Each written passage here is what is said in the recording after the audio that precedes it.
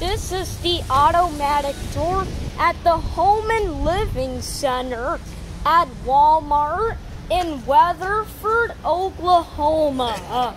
These are Stanley with a Stanley automatic door center. And that's it.